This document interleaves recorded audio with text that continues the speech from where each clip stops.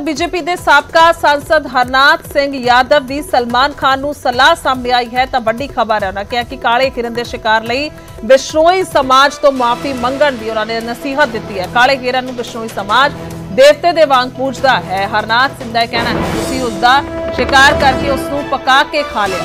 ਤੁਹਾਡੇ ਇਸ ਕੰਮ ਕਰਕੇ ਬਿਸ਼ਨੋਈ ਸਮਾਜ ਗੁੱਸੇ ਦੇ ਵਿੱਚ ਹੈ। ਤੁਹਾਨੂੰ ਬਿਸ਼ਨੋਈ ਸਮਾਜ ਤੋਂ ਮਾਫੀ ਮੰਗਣੀ ਚਾਹੀਦੀ ਹੈ। ਹਰਨਾਥ ਸਿੰਘ ਦੇ ਵੱਲੋਂ ਇਹ ਕਿਹਾ ਗਿਆ ਹੈ। ਦੱਸ ਦਈਏ ਕਿ ਉਹਨਾਂ ਨੇ ਟਵਿੱਟਰ ਤੇ ਲਿਖਿਆ ਹੈ ਔਰ ਕਿਹਾ ਹੈ ਕਿ ਪਿਆਰੇ ਸਲਮਾਨ ਖਾਨ, ਕਾਲਾ ਹਿਰਨ, ਜਿਸ ਨੂੰ ਬਿਸ਼ਨੋਈ ਸਮਾਜ ਦੇਵਤਾ ਮੰਨਦਾ ਹੈ ਉਸ ਦੀ ਪੂਜਾ ਕਰਦਾ ਹੈ ਉਸ ਦਾ ਤੁਸੀਂ ਸ਼ਿਕਾਰ ਕੀਤਾ ਤੇ ਪਕਾ ਕੇ ਖਾ ਲਿਆ। ਜਿਸ ਕਾਰਨ ਬਿਸ਼ਨੋਈ ਸਮਾਜ ਦੀਆਂ ਭਾਵਨਾਵਾਂ ਨੂੰ ਠੇਸ ਪਹੁੰਚੀ ਹੈ ਤੇ ਤੁਹਾਡੇ ਪ੍ਰਤੀ ਬਿਸ਼ਨੋਈ ਸਮਾਜ ਵਿੱਚ ਲੰਬੇ ਸਮੇਂ ਤੋਂ ਰੋਸ ਹੈ। ਤਾਂ ਵਿਅਕਤੀ ਤੋਂ ਗਲਤੀਆਂ ਹੋ ਜਾਂਦੀਆਂ ਨੇ। ਤੁਸੀਂ ਇੱਕ ਵੱਡੇ ਅਭਿਨੇਤਾ ਹੋ, ਦੇਸ਼ ਵਿੱਚ ਵੱਡੀ ਗਿਣਤੀ 'ਚ ਲੋਕ ਤੁਹਾਨੂੰ ਪਿਆਰ ਕਰਦੇ ਨੇ।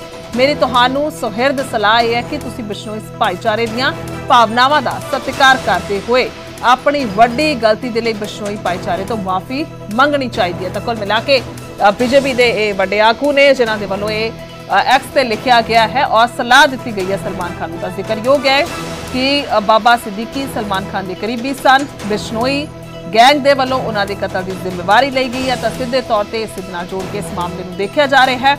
ਕਿਉਂਕਿ ਪਹਿਲਾਂ ਵੀ ਬਿਸ਼ਨੋਈ ਸਮਾਜ ਬਿਸ਼ਨੋਈ ਗੈਂਗ ਦੇ ਇਹ ਲੋਕ ਕਹਿ ਚੁੱਕੇ ਨੇ ਕਿ ਜਿਹੜਾ ਵੀ ਸਲਮਾਨ ਖਾਨ ਦੇ ਸੰਪਰਕ 'ਚ ਰਹੇਗਾ ਜਾਂ ਉਸ ਨੂੰ ਲੈ ਕੇ ਪ੍ਰਮੋਸ਼ਨ ਹੋਏਗੀ ਜਾਂ ਸਾਹਮਣੇ ਲਿਆਂਦਾ ਜਾਏਗਾ ਤਾਂ ਫਿਰ ਉਹ ਦੁਸ਼ਮਣ ਹੋਏਗਾ ਔਰ ਉਸ ਨੂੰ ਮਾਰ ਦੇਣਗੇ।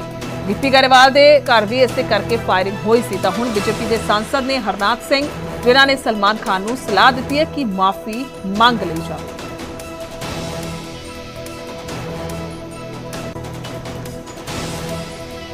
ਕੁੱਲ ਮਿਲਾ ਕੇ ਦੱਸੇ ਕਿ ਮਾਮਲਾ ਬੇहद ਪੁਰਾਣਾ ਹੈ ਔਰ ਕਈ ਦਹਾਕੇ ਪੁਰਾਣਾ ਹੈ। ਕੁੱਲ ਮਿਲਾ ਕੇ ਸਭ ਜਾਣਦੇ ਨੇ ਕਿ ਜਿਸ ਤਰੀਕੇ ਦੇ ਨਾਲ ਫਿਲਮ ਦੀ ਸ਼ੂਟਿੰਗ ਦੇ ਦੌਰਾਨ ਰਾਜਸਥਾਨ ਦੇ ਵਿੱਚ ਜਾਂਦੇ ਨੇ। ਸਲਮਾਨ ਖਾਨ ਤੇ ਹੋਰ ਜਿਹੜੇ ਇਹਨਾਂ ਦੇ ਕੋ ਐਕਟਰ ਹੁੰਦੇ ਨੇ, ਸੋਨਾਲੀ ਬੇਂਦਰੇ ਨੀਲਮ, ਇਹ ਸਾਰੇ ਹੀ ਜਿਹੜੇ ਇਹਨਾਂ ਦਾ ਨਾਮ ਸਮੇਂ ਕਾਫੀ ਗੂੰਜਿਆ ਸੀ, ਕਾਲੇ ਹਿਰਨ ਦਾ ਸ਼ਿਕਾਰ ਕਾਰਨ ਨੂੰ ਲੈ ਕੇ ਉਸ ਸਮੇਂ ਇਹ ਚਰਚਾ ਉਠੀ, ਇਲਜ਼ਾਮ ਲੱਗੇ। ਉਸ ਤੋਂ ਬਾਅਦ ਕਾਫੀ ਕੁਝ ਇਸ ਨੂੰ ਲੈ ਕੇ ਲੰਮੇ ਸਮੇਂ ਤੋਂ ਚਰਚਾ ਦੇ ਵਿੱਚ ਆਉਂਦਾ ਰਿਹਾ ਹੈ ਔਰ ਉਸ ਵੇਲੇ ਤੋਂ ਹੀ ਬਿਸ਼ਨੋਈ ਸਮਾਜ ਦਾ ਜ਼ਿਕਰ ਕੀਤਾ ਜਾਏ ਜਾਂ ਬਿਸ਼ਨੋਈ ਗੈਂਗ ਦਾ ਜ਼ਿਕਰ ਕੀਤਾ ਜਾਏ, ਇਸੇ ਹੀ ਗੱਲ ਦੀ ਦੁਸ਼ਮਣੀ ਉਹਨਾਂ ਦਾ ਕਹਿਣਾ ਹੈ ਕਿ ਸਾਡੀ ਸਲਮਾਨ ਖਾਨ ਦੇ ਨਾਲ ਹੈ। ਹਾਲਾਂਕਿ ਇਸ ਜਦੋਂ ਵੀ ਰੋਹਿਤ ਗੁਦਾਰਾ ਜਾਂ ਕਈ ਹੋਰ ਅਜਿਹੇ ਇਹ ਇਹਨਾਂ ਦੇ ਨਾਮੀ ਗੈਂਗ ਦੇ ਲੋਕ ਗੱਲਬਾਤ ਨਿਊਜ਼ 18 ਦੇ ਨਾਲ ਵੀ ਉਹ ਕਰਦੇ ਰਹੇ ਨੇ, ਤਾਂ ਉਸ ਸਮੇਂ ਵੀ ਸਵਾਲ ਜਿਹੜਾ ਹੈ ਇਹਨਾਂ ਨੂੰ ਪੁੱਛਦੇ ਰਹੇ ਨੇ। ਸਾਡੇ ਸਹਿਯੋਗੀ ਕਿ? ਜੇਕਰ ਸਲਮਾਨ ਖਾਨ ਮਾਫੀ ਮੰਗਦਾ ਹੈ ਕਿ ਕੀ ਕੀ ਤੁਸੀਂ ਮਾਫ ਕਰ ਦੋਗੇ? ਤਾਂ ਫਿਰ ਇਸ ਨੂੰ ਲੈ ਕੇ ਉਹਨਾਂ ਦਾ ਕਹਿਣਾ ਸੀ ਕਿ ਬਹੁਤ ਲੰਮਾ ਸਮਾਂ ਹੋ ਚੁੱਕਿਆ ਹੈ ਔਰ ਮਾਫੀ ਜੇਕਰ ਮੰਗ ਵੀ ਲਈ ਜਾਏਗੀ ਤਾਂ ਉਸ ਦੇ ਨਾਲ ਵੀ ਕੋਈ ਬਹੁਤਾ ਫ਼ਰਕ ਨਹੀਂ ਪੈਣ ਵਾਲਾ।